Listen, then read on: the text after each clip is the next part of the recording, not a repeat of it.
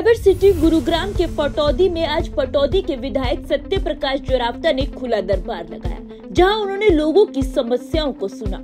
ये खुला दरबार विधायक ने मुख्य रूप से नगर निगम की समस्याओं के निदान के लिए लगाया था, लेकिन यही खुला दरबार विधायक के लिए उनके गले की फांस बन गया। दरअसल मानेसर सहित अन्य गाँव के सैकड़ों लोगों ने विधायक के खिलाफ जमकर नारेबाजी की। नारेबाजी के दौरान ग्रामीणों का गुस्सा विधायक के खिलाफ साथ में आसमान पर नज़र आया बिल्कुल बिल्कुल है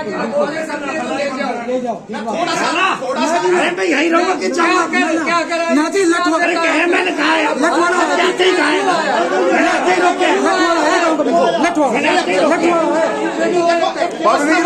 है तो काम काम नहीं करा अपने गड्ढा में डाला देश को गड्ढा में डाल रहे हो गए इज़्ज़त से।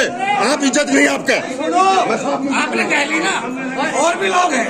आपने अकेले का दिखा थोड़ी और लोग हैं। उन्हें बोलने दो। साहब हमने नगर निगम कति अच्छी ना लगे और ना आप अच्छा लगो क्यों आप ले आए आपकी बात आपको बता दें कि विरोध के दौरान ग्रामीणों का एक ही मकसद रहा कि विधायक सत्य प्रकाश जरावता साहब ना तो हमें नगर निगम अच्छा लगता है और ना ही तुम। क्योंकि सैकड़ों करोड़ों की संपत्ति आपके कहने पर भी गई। नगर निगम लाने में आपका ही हाथ है, जो हमें कतई बर्दाश्त नहीं। इस दौरान पार्टी अध्यक्ष उमेश यादव, पूर्व सरपंच रामोताल यादव, कैलाश, देवेंद्र यादव व अन्य काफ़ी संख्या में ग्रामीण वहाँ मौजूद रहे। Bureau report the ground news.